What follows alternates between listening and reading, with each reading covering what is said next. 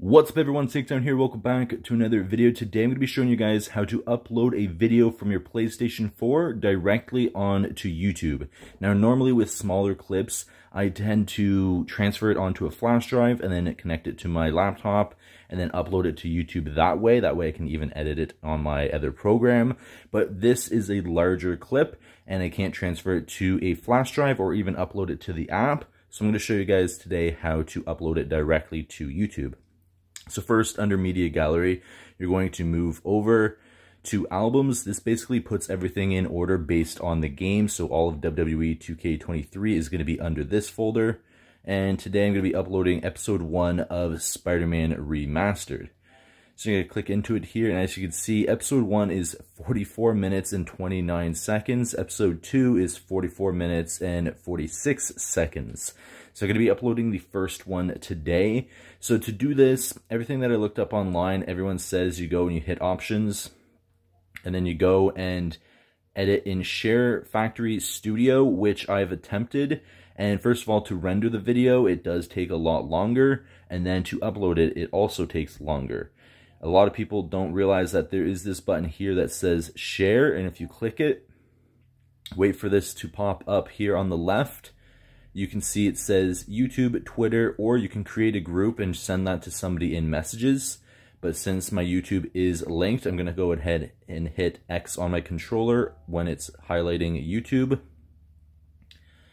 Next, it will come up here with basically the video uh, details. So it'll say a title. I'll edit that on my laptop later. Same as the description, the tags.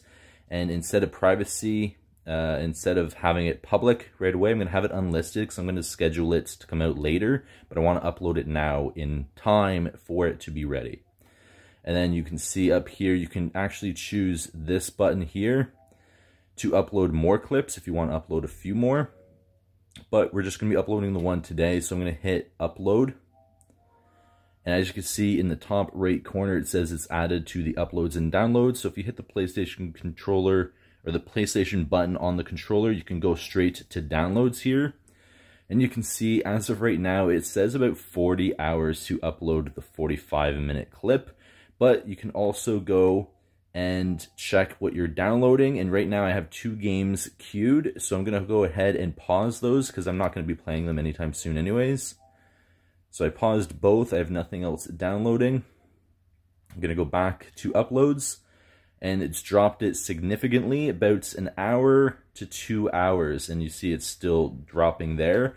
That clip is 5.8 gigabytes so in about an hour, it will be uploaded and I can go and edit everything on my laptop like I normally do, add my custom thumbnail that I made and everything else.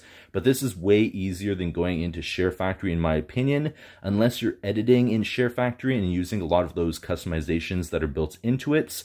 That's great, but this here, I liked it how it was. I edited, I trimmed it up just based on just editing it and not going into Share Factory and then uploading this way I felt was way easier. You can also do this even if you did edit through Share Factory, you just render it and then instead of going under the game, you'll go under Share Factory, under the Media Gallery, and you'll select it that way and upload it this way. Right now, it's literally 38 minutes left, which is awesome. So in about 40 minutes or so, we will be checking this on the laptop and making sure everything went through, but as of right now, everything did. So even if you don't know and it didn't come up on the top right corner, you could just hit the PlayStation button and check the status by going down to here, downloads and uploads, and checking it here.